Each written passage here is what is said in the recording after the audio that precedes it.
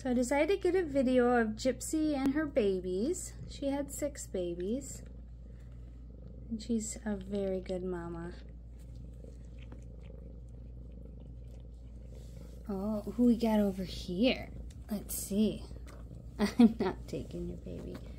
So this is the Torby girl that has the orange right near her rear.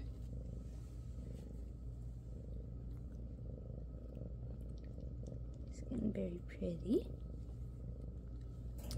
And this is, let's see, this is the boy. This is the brown boy. Let me pick him up a minute. And then of course these are our two marble boys. You can tell them apart because the back of this one has a little break in the two stripes and this one continues. And then this is the one that we were calling Little Bit.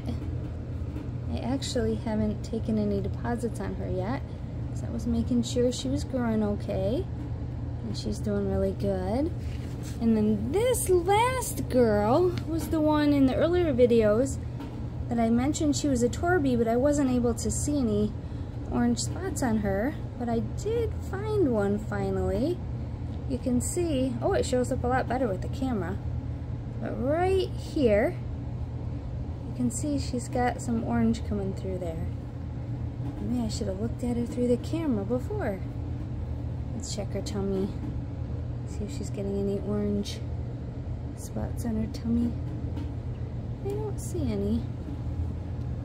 So she's definitely a Torby, but she's just a Torby with very little orange on her. Some coming up in this rosette back here too. Right there. But mama's doing good and the babies are all doing good.